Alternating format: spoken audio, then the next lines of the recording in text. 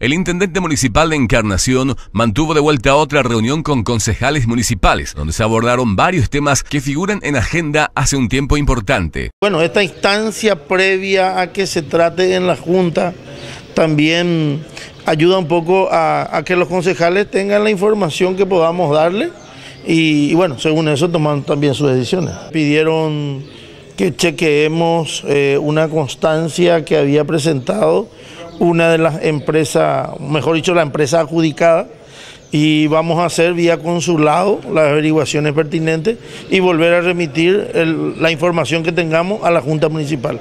No se devolvió, eh, se pidió una información y por ende eh, interín tengamos la información, el plazo de vencimiento del tratamiento o que debe pedirse la Junta queda paralizado hasta que remitamos la información. Eh, nos falta solamente el mobiliario y es un poco lo que estábamos hablando con algunos concejales, eh, de encontrarnos eh, en, un punto de coincidencia.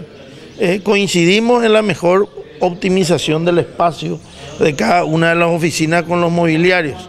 Este, y bueno, en eso coincidimos y creo que hay simplemente una, una interpretación difusa que, se tiene al respecto de lo que queremos y esperamos que eso pueda ser satisfecho en el menor tiempo posible y tener el pliego de base aprobado y hacer el llamado para que cuando nos mudemos los funcionarios tengan el mueble. Respecto a la terminal de ómnibus, la construcción, ¿cómo quedó?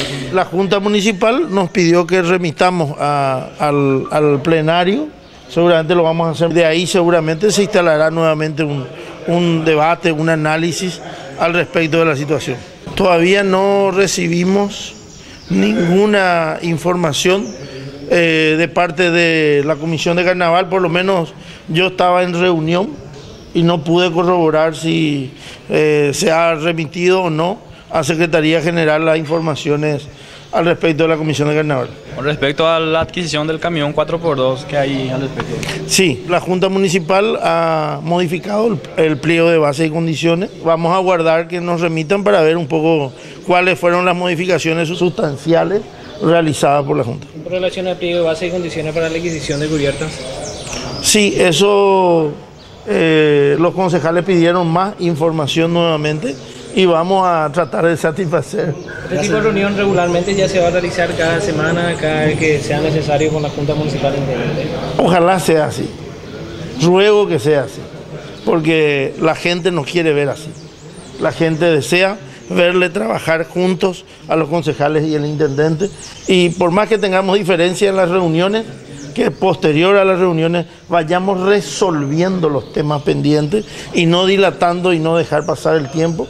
Eh, nos queda 11 meses de gestión y eh, creo que cada uno de los que hoy ocupamos un, espacio en, la administración o en la Junta Municipal necesita eh, procurar con todos sus esfuerzos cumplir los compromisos que ha asumido con la ciudadanía.